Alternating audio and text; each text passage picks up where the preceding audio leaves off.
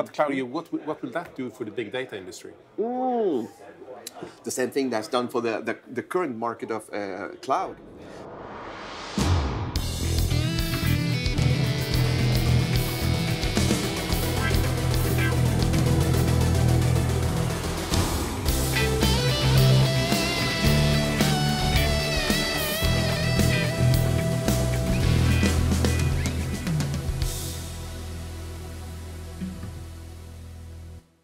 The reason that American clouds have sold so poorly in the European has been because there are no European clouds. You're well aware of the fact that GDPR is very strict about um, having the data within the European Union. It's a very sort of uh, uh, so. But, but they have data centers even here in Sweden. No, All- they, they've done that afterwards. I mean, when, when GDPR came in force, uh, a good example is Microsoft. They only had, as I understood it, in 2015 was the time that they initiated the first German uh, sort of data center. 2018, they had no, to no, implement. no, sorry, sorry, no, no, no, no. They, they, they, they had uh, Azure data centers in Netherlands, uh, UK, Ireland, uh, much before that. But what you're what you're referring to in 2015 was when they gave uh, they created an Azure data center that is not operated by Microsoft, by Correct. but a German company. German company. So it is not in the jurisdiction Correct. of American companies. Thank you. That's exactly what I was saying. So that was the first time that was initiated. And then in 2018, now finally Microsoft has one in Stockholm and one in Umeå now that they're going to be operated by an independent uh, body to confirm and There's a lot of talk about artificial intelligence, and it's a threat against privacy. But can you use AI to help privacy? Oh, absolutely, yes. Uh, is it a threat to privacy? I would question that in the first place. Uh, because the threat to privacy in this case is that the information architecture is bad. You, you're still collecting a lot of information and then you, you apply AI as an analytics tool on top of it and can quickly extract the information. But the challenge in the first place, why did you collect that information? Because AI is just a tool to make it faster. But if you can find the information that you're not allowed to have with AI faster, you're still collecting information that you're not allowed to. So that would be the first thing to address. So that's the ethical part of That's AI. yeah, well, both the ethical and legal part. So AI is just a tool. You, you could argue that uh, speed limits wasn't a problem 100 years ago when people didn't have cars. Then, when you go with ho- horse and carriage, the problem wasn't that uh, big. And nowadays, I would have to say the horses have played it very well. They used to be horse and carriage. Now it's actually a car with a horse uh, in the carriage. So they play that one very well. But nowadays we have speed limits due to that the laws of physics when we crash is actually could kill, kill us. And that's the same thing when it comes to AI when we have a huge amount of information, legal or not, but it takes quite some time to analyze it, most of the information would get old, it old wouldn't be usable. Now comes AI. Now we could find this information very fast. Now we see that okay, there's a lot of information that we shouldn't be allowed to aggregate or analyze. So it's a it's the same thing. So I, I don't see AI as a threat to privacy in itself, but it would visualize that we need a lot more rules and regulation on how should are you allowed to uh, store, uh, collect and store information. GDPR. So big data is going to have the same kind of impact on, on, when it comes to collecting cookies and administering cookies. At the moment, there are a lot of uh, companies um, uh, making profit and uh, capitalizing on the idea of cookies. And this is where the law comes down to. The law has sort of two sort of balances.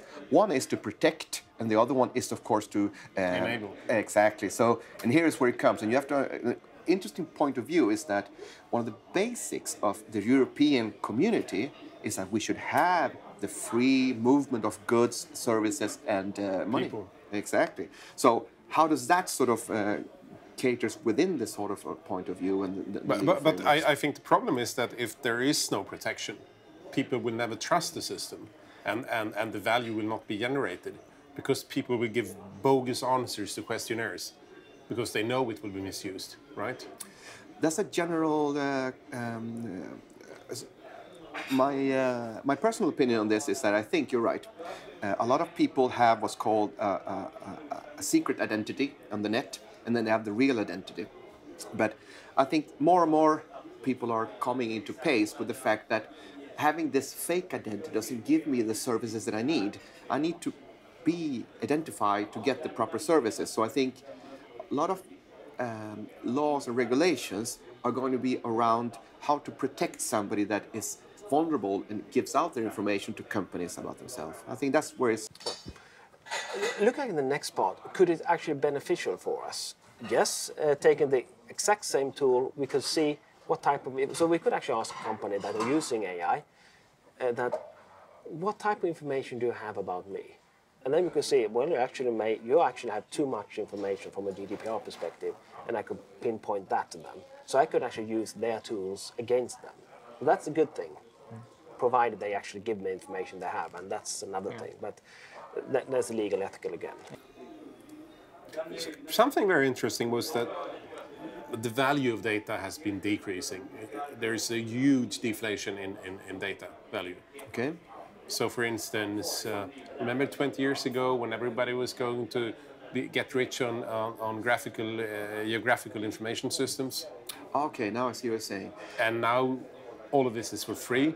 Uh, we have the same thing with, with uh, record data about uh, people that used to be expensive. Now it's available for free from, from the government and so on. So lots of, of, of the value of data is decreasing rapidly. It's like photos. It used to be it used to be like only photographers could take photos 100 years ago, and now everyone takes Everyone photos. So many photos. I mean, how many photos do you have in your account? Correct. Who knows? correct. And they're very good actually. And the quality has always been increased, and you get Yeah, tools so, that so, make it so easy. you have all this data, but it's less and less worth. The, the, the, the monetary value, the emotional value is less and less. So why, why does it even need to be protected? when you see attacks nowadays emerging on different type of malware, and th- that is, if I remember correctly, what I read, takes about 10, 15 minutes after a malware first used and detected, that it's actually blocked by uh, at customers that are using those this type of service. I know ha- there are the uh, uh, in my browser there's this smart screen, smart screen filtering, where it actually blocks known malware and it taps into the security graph and the AI engines that is working with that. So that's one way where we see AI could be a lot of beneficial. Uh, looking how AI can help us, AI could, for example, be very, very fast in identifying the different, different type of new attacks. And depending on the information you actually store and collect, I think this is more to do with innovation and perception of innovation. Uh, I'm pretty sure you're well aware of uh, John Vannevar Bush, the uh, sort of inventor of the system uh, sort of schematics and things. I think in the 70s he wrote this very interesting uh, book about system design. At the time, it was something very sort of popular. Uh, he predicted a lot of sort of inventions and he made a prediction around them. For instance, that television was going to revolutionize the whole educational system that didn't turn out to be the fact. Uh, so I think, in, in, and this is why I'm saying, in the 90s, uh, I worked with document management all the time. One of the big things about knowledge management at the time was how do we capture it? How do we lock it? How do we keep it? It was very interesting to see how they, it was all about secluding it. Whereas today, it's all about how do we release it? How do we spread it? So I think data comes to be sort of being very valuable when you had this idea that it needs to be confined, locked. It's, it's, it's an asset. Whereas now, when it's free, then it no longer has this potential value on its own, but it still keeps the value for the company. The company always wants to know who they're dealing business with and why they're doing business with them. So I think that's where it's going. So, but isn't it better if we live in a panopticon where everything is freely available?